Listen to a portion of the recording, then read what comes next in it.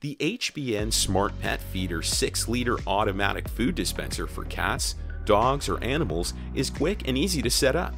This device can be controlled by Wi Fi via the app and will allow you to control portion sizes. Let's start by powering the device. Simply take the included cord and plug it into the back of the pet feeder. Then press the power switch on the bottom. The device can either take three 1.5 volt batteries or can be powered by the included cord. The device will power on and a blue light on the feeding button will light up. Next, attach the included food bowl to the bottom of the feeder and place your pet's food inside of the main compartment. Let's pair this pet feeder to the HBN Smart app for complete control. Download the HBN Smart app from the App Store or the Google Play Store.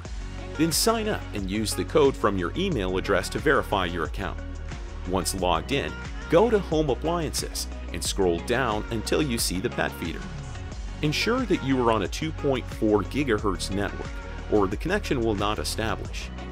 Enter your Wi-Fi's password, then click Next. Hold the pet feeder feed button for about 5 seconds or until the blue light starts to blink. Wait for the device to show up on the app and rename it once it's been recognized. Click Done and you'll enter into your device interface where you can control many different settings and options. On the app interface, you can take screenshots, use the speak option, record through the device's camera, play back from the SD card, schedule feeding times, or feed your pet right away. Press the screenshot button and a picture will be saved to your phone's gallery. Press the speak button and you can speak to your pets through the app. Press the record button to start a video and press it again to stop recording. The video will be saved to your phone's gallery. Press the playback button if you have a mini SD card inserted in the mini SD card slot located beneath the main food compartment. Press the feed button to immediately feed your pet with the ability to control portion sizes.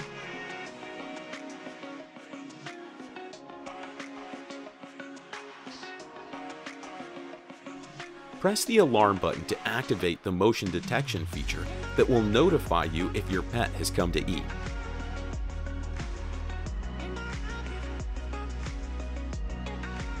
Once the pet feeder has been used several times, it's important to keep it clean and maintained. Start by removing the top cover, feeding container, and bowl from the device. All these components can be cleaned with detergent and water.